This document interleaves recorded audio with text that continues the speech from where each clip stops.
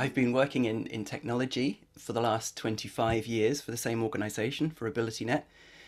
And we're a, a technology and disability charity. So I'm all about playing with technology to make sure that people, regardless of you know need or impairment, are able to get the most out of work, education, uh, leisure. You know, everything's digital these days, and technology can not only help you access that digital life that uh, you know is, is kind of front and center these days but also with the right adjustments the right adaptations in some cases some specialist tech then you can um, overcome whatever barriers you have like myself i'm blind um, to be able to be an active you know play an active part in that uh, that life. But um, as we'll talk about no doubt a little bit later on there are some hurdles if things aren't inclusive in the digital space. But um, yeah, really lucky to have been playing with tech uh, that's just got better and better and is helping more and more people live really inclusive, independent lives for well over two decades.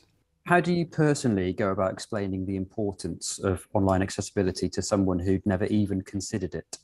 That's a really good question. I mean, it's so important. All you really need to say to people is, you know, just think about how much you rely on your phone, on the internet, on email, whatever it might be in the digital space, and imagine that that's taken away or it becomes infinitely harder for you to do. It's, you know, frustrating anyway when websites aren't designed um, to be easy to use. For example, they're not intuitive.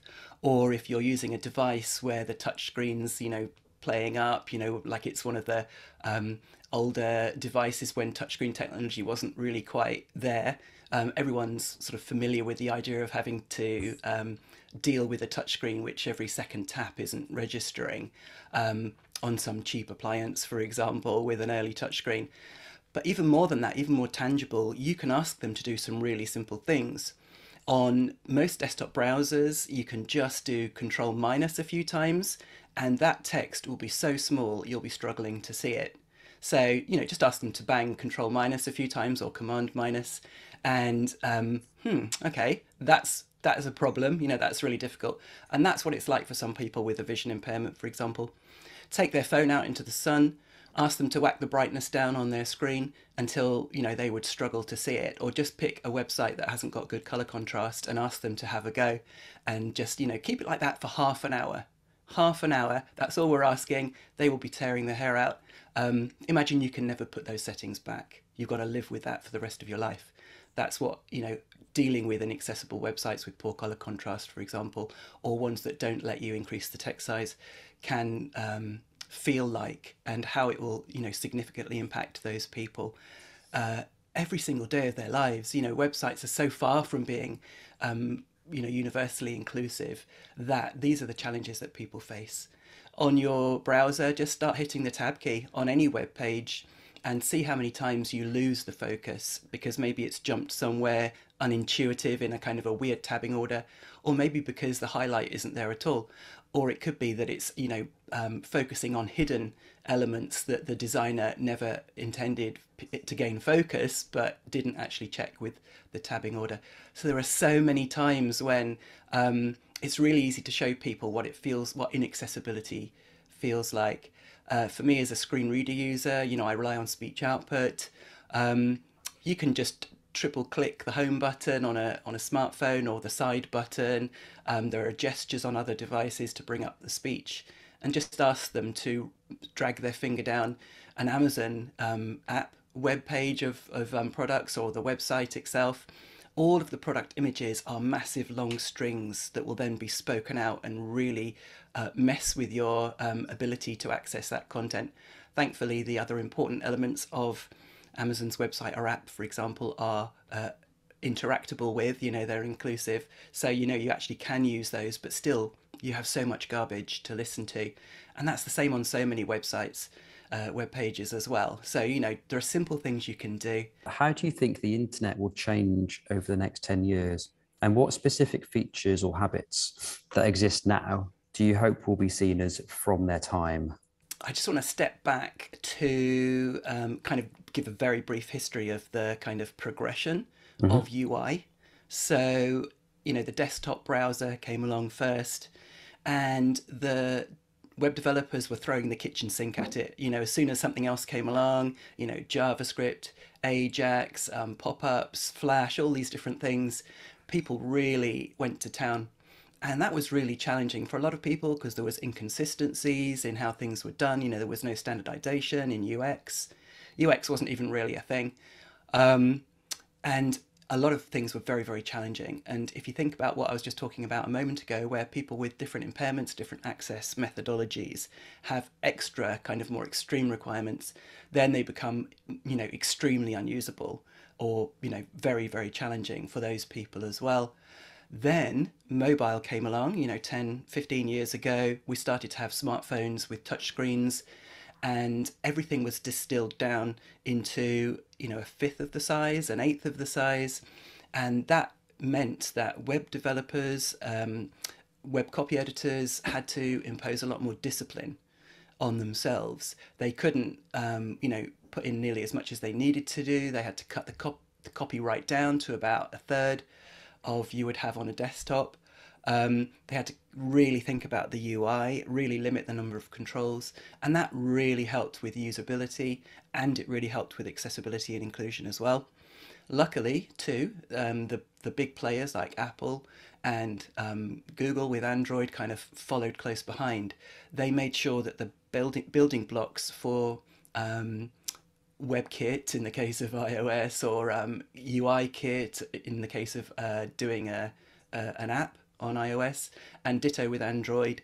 You know, the building blocks were really uh, very inclusive. You had you had to actually break accessibility by not following the steps that they'd outlined, uh, or going custom with certain controls. And you know, certainly that did happen in a lot of cases. I'm not saying that every iOS app or website is accessible. You know, that's been optimized for iOS, but just this, the discipline of having to go to a much smaller screen size was brilliant, and that really helped a lot of people across a wide range of disabilities and just everybody else as well. In the future, in the next five or 10 years, screens are going to get smaller. I mean, I've already got, you know, a tiny screen on my wrist.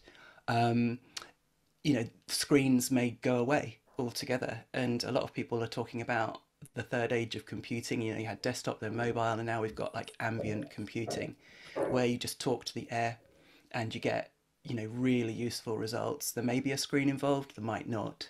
Um, you know, it ties in with all of these things about computers being scattered all over your body, all over your house, all over the environment, and there will be something intelligent on tap for you to be able to interact with. So I think the future of the internet is going to be one of hopefully simplification, further simplification, because people have come to expect much more discipline, much more thoughtful design when it comes to UI and UX, um, but also whoever's developing the you know apps and and websites of the future probably won't be able to c- assume anything about the platforms that they're going to be consumed on.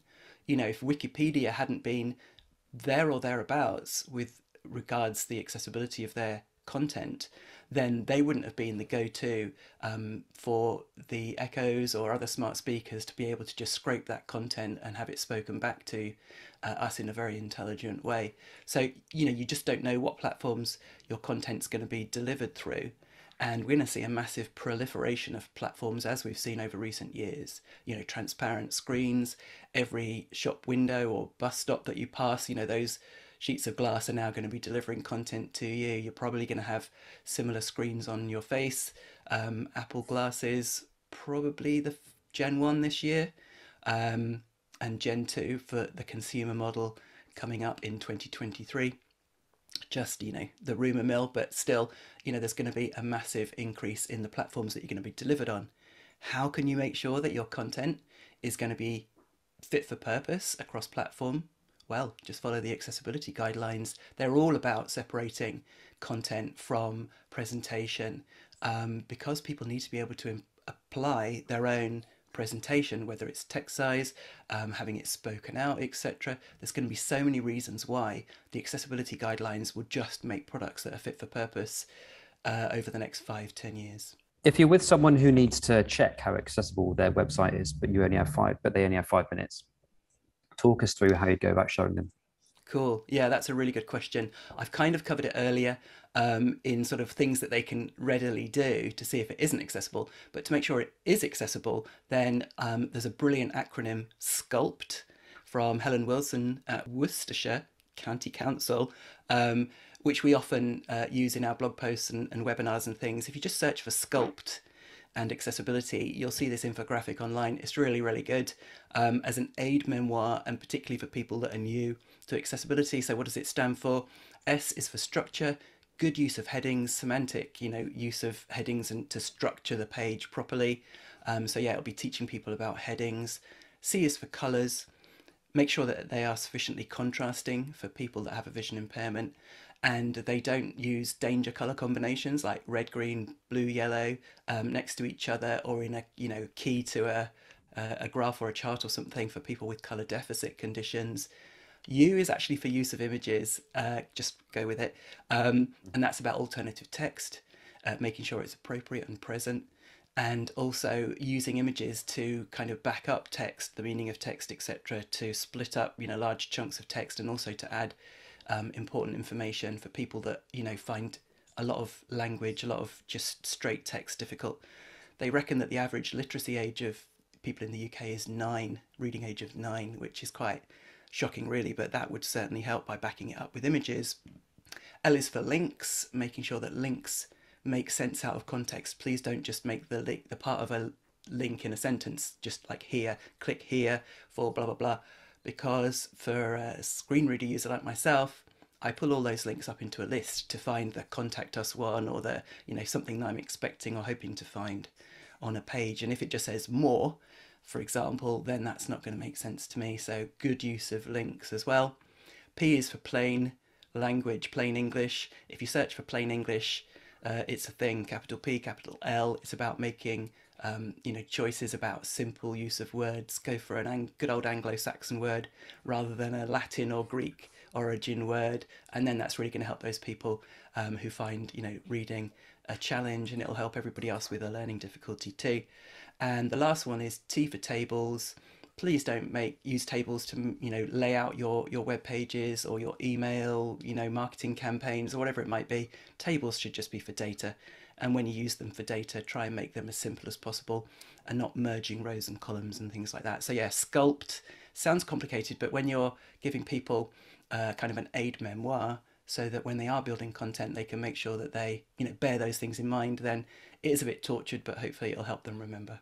In terms of the adoption of accessible digital products, what do you think is the biggest challenge? I mean, you'd think it would be a no brainer making uh, products accessible because you're reaching a massive audience. You know, the Purple Pound, 274 billion pounds an annum, you know, a year in the UK. That's the estimated disposable income for of people with disabilities and their families.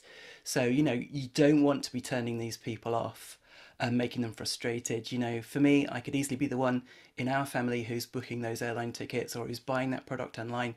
And if I get frustrated, I might go somewhere else, and you've lost, you know, that income from a whole family. Um, where we've got, you know, we've got stuff to buy on your, you know, we've got money to spend on your on your services, etc. Um, so yeah, but I think a lot of it is kind of lack of awareness and the fact that it feels like it's a little bit scary and there's a lot of work to it. And if you're not up to speed, then it definitely would feel like that. Absolutely. The first thing to say is that, you know, whilst the guidelines themselves are quite technical, not everyone who touches web or, you know, digital needs to be an expert on them. There are subsets, there are cheat sheets, there are checklists, things that people can do depending on your role. Um, for the organization as a whole, it's really important that you think about embedding accessibility across everything that you do. So AbilityNet have got this process called DAMM, Digital Accessibility Maturity Model, where we would walk you through. There's also a download self-serve version, um, looking at all the areas of your organization across digital, uh, from training to resourcing to leadership to you know um, support across the different teams, etc., uh, procurement, all of these different things, and help you gauge where you are today and how you can level up to an area, you know, to a point of best practice to be in that kind of end zone.